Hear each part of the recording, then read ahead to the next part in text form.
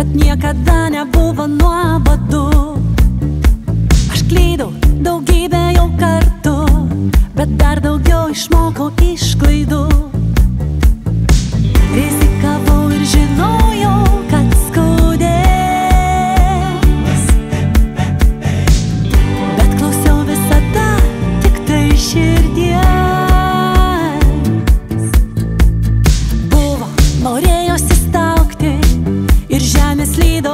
dėkoju dažnai.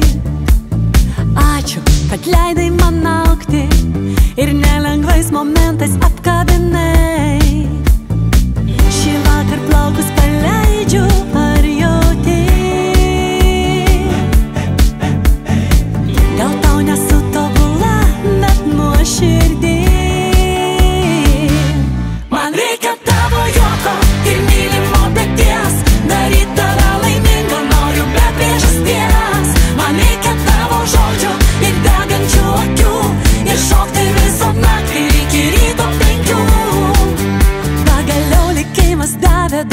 daugiau negu prašym.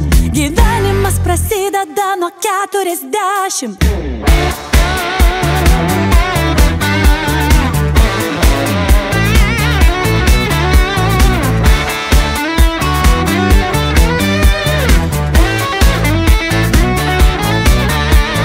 Laikas klastingas, bet gėdis, nejučia sumaišo mūsų kortą maldos dar vakar girdėtos. Šiandien virsta į linksmybių puotas. Aš plaukus jau pasileidau, ar jauti?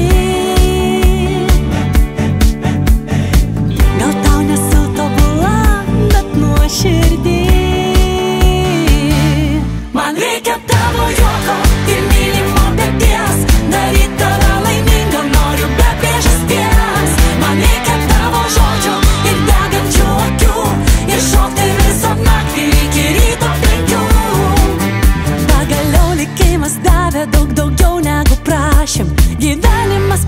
tada nuo keturiasdešimt. Gal tau ne